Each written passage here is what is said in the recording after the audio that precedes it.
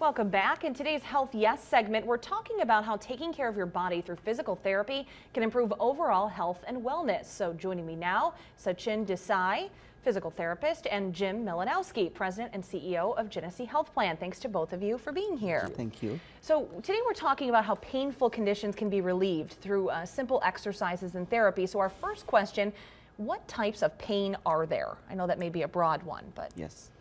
Pain is very complex and subjective symptom. Uh, pain is a warning signal to our body. Mm -hmm. Pain is actually a natural process and it is necessary for our survival. If there is no pain, you won't survive. So pain is normal. However, when it reaches certain threshold, it will create an impairment. It can be a psychological or physical impairment. So for physical therapists and for common person's understanding, we can categorize pain into three different main categories. One is mechanical pain, mm -hmm. one is chemical pain, and one is pain because of trauma. Now, what is mechanical pain?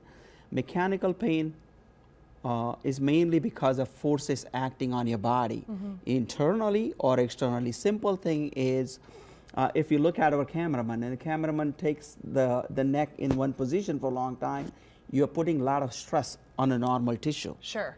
And when the forces are gone, the pain goes away. So it's like a turning switch on and off. Okay. So this kind of pain is easy to identify and easy to treat. Okay.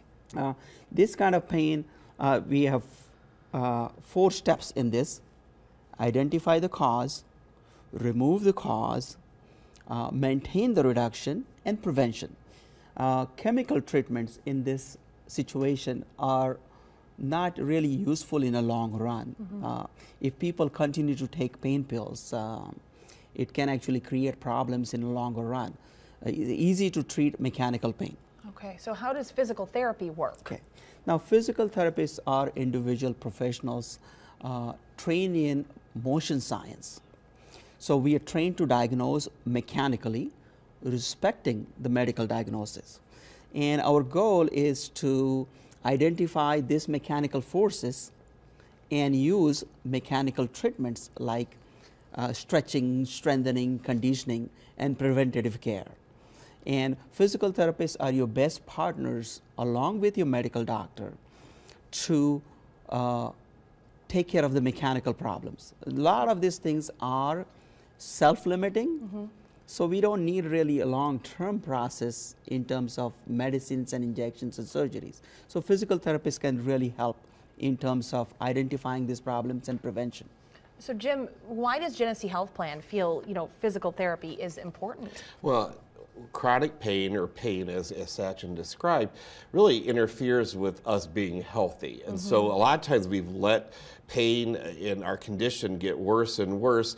And so we want people to get pain free so they can actually become healthier. Mm -hmm. It's hard to become healthier or work on that, uh, you know, our, our fitness or our eating habits all if we're in this state of pain. Sure. So we want people so that they can get the they can do more of their preventive care versus trying to deal with pain in a chronic in a chronic situation. Absolutely. Yeah.